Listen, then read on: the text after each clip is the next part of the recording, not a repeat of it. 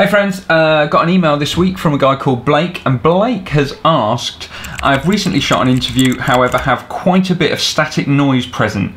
I was wondering whether you would consider doing a video about sound and to include how to reduce or remove static and what additional plugins or programs you use. Yes, Blake. I would consider doing a video. This is it. So that's what we're doing today. We're looking at how to remove background noise and static noise from your footage in Final Cut Pro. Let's do it.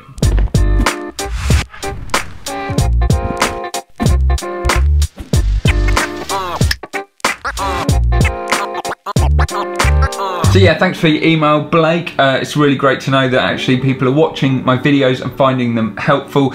And the weird thing was, uh, two days after you sent that email, I recorded a video. I used a wireless lav mic to do it, and I obviously didn't quite set the channel up correctly, and I had some really bad interference on the footage. So such serendipity, you might say. So I had to actually deal with this myself. What I would say as a precursor before I get stuck in is whenever possible possible recording audio, it's really important that you get it right in camera or in the recorder first time round because correcting audio is incredibly difficult in post-production. Uh, however, it's not a perfect world. We all make mistakes and if you do happen to be working with some footage that's not ideal, then uh, this is just a really quick thing uh, that I've found you can do. Uh, so let's jump into my screen and get on with this. We are in Final Cut now. This is my project file for last week's video uh, where I was talking about how I made my intro. Uh, and what I've done is I have just put this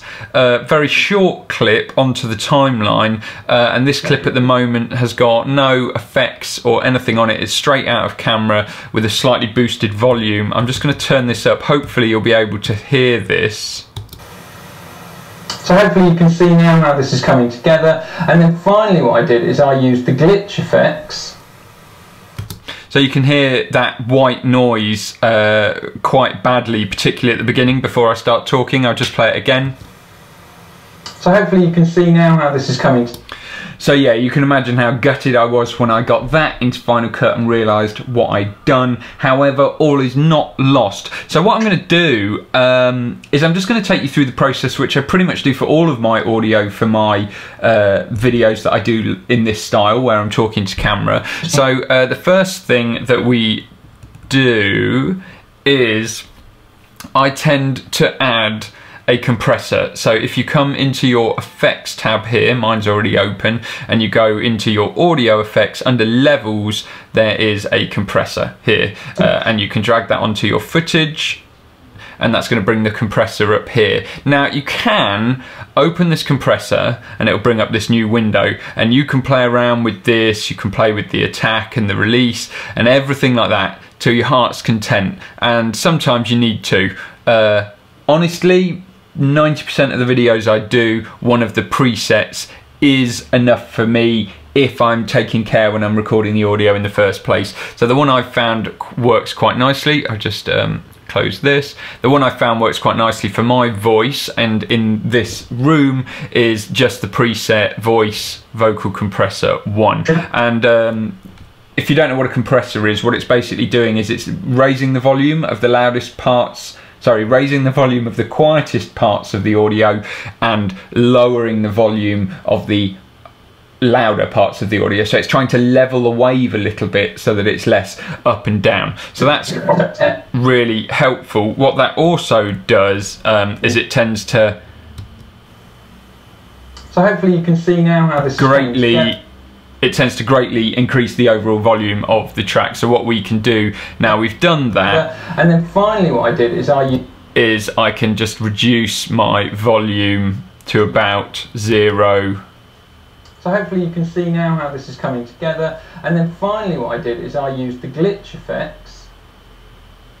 Now these glitch effects, they're really simple to use. They're really just sort of drag and drop really. Let me just Okay, and already you might be able to hear, let me turn this up and just see how that's affected that, that hiss. Still there and really prominent. So the next thing uh, that I always do is I always put a limiter on, uh, so you can drag that onto the track like so. And that's it. I just drop that on. And what that does is it means if any of the bits are clipping it just means that it will stop anything from going over zero. So it just stops any clipping I know this is nothing to do with removing the static but I will get onto that. I just felt maybe this would be useful as well.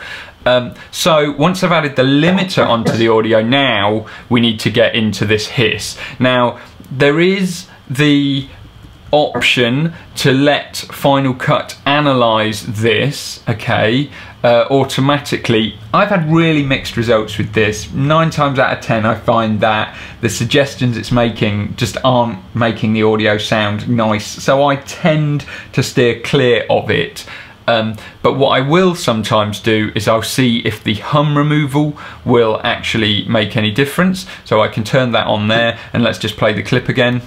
So hopefully you can see now how this is coming together. So it's still quite prominent and I could try the 50 Hertz instead just to see if that makes a difference. So hopefully you can see now how this is coming together. So no, I'm not really happy with how that's working, so we're going to turn the hum removal off. We can also try noise removal, which is uh, more of a noise gate, and what that does is it sets a particular uh, level, anything below that level is not allowed through, anything over. Now it can mess with speech a little bit, but it's worth trying. So we're going to turn that on. It's set to 50% as default. So hopefully you can see... You can see it's done a really good job of isolating that white noise, but now...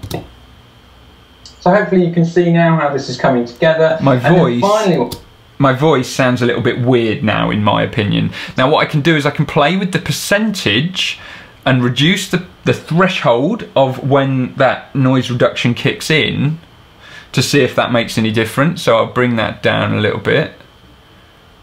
Okay. So hopefully you can see now how this is coming together. And then finally what I did is I used the glitch effect and that is a little bit better. I'm still not mad about how that's making my voice sound. And the other thing is, because I've reduced the threshold, it is letting that white noise back through. So again, it's worth trying that as an option, but in this instance, I'm not going to use it. So that leaves me to my final option, which is just to use the equalization. So what we're going to do is we're going to tick the equalization box. We're going to click on this icon here, which is going to open the equalizer. And then I'm just going to, it's difficult because obviously I can't uh, talk. Let's just uh, go, hold on, let me just set this to flat. Come on, bass, flat. Okay, so we've now got a completely flat EQ, which is the default, right? And um, what we can do is, as we're playing the clip, so hopefully you can see now. I'm just going to turn this down a bit so I can still talk to you. I use the glitch effects. If I go through each band, they're really simple to use. They're really just sort of drag and drop. Really, let me just get rid of a few of these bits so we can and see how it's affecting the audio. Effects. They're the sort of thing that you need to sort of use sparingly, but... Um, Let's turn this up a bit. You can just really sort of drag them on, if you want, go mad. See, that's just completely glitched the entire thing out. What I tend to do with them is just really shorten them down and just have like that little short burst so I'm going through every band here showing you what I do, but in this situation I can tell you that hiss is one of the higher frequencies. So I'm just going to dive in now just to save time, and if we play this clip again... And again, I'm literally...